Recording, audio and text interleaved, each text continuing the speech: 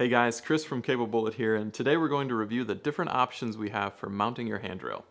Usually, you'll have to consider the following options when your guardrail is 42 inches on a stair run. Let's dive into it.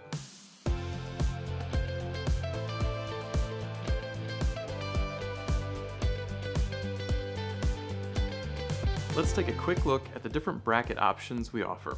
We have our wall mount bracket, which is great for projects that have sections where you need handrail but don't necessarily need full cable railing, like down a set of stairs.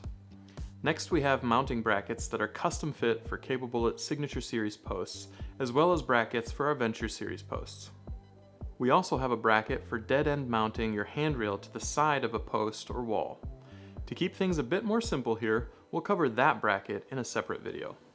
All of these brackets are T316 marine grade stainless steel. They pair beautifully with Signature Series and Venture Series handrail, but they're also compatible with just about any handrail that has a flat underside. While the mounting brackets differ from one another slightly, you can see these all use the same bracket head.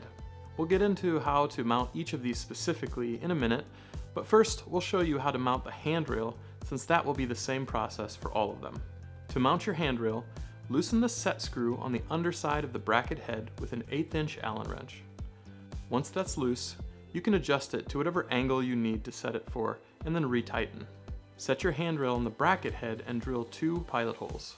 Use a 5 32 inch bit if you are going into Signature Series aluminum handrail or a 3 16 inch bit if you're going into Venture Series stainless steel handrail.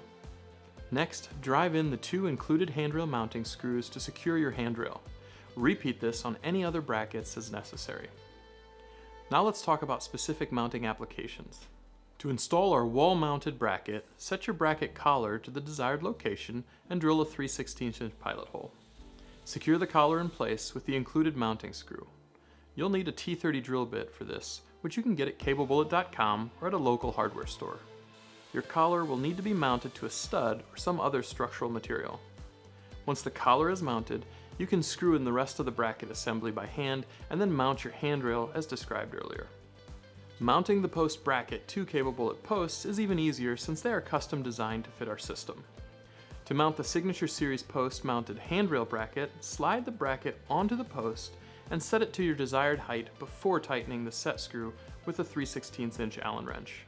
Make sure the set screw for the bracket plate is backed out to prevent scratching on your post. For code purposes, make sure you are measuring from the nosing of your stairs to the top of the bracket head. The International Residential Code requires all graspable handrail to be at least 34 inches, but no more than 38 inches high.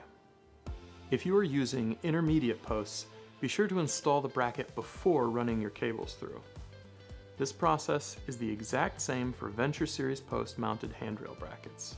Thank you for watching. If you have any questions about our various handrail brackets, please leave them in the comments below or visit us at cablebullet.com.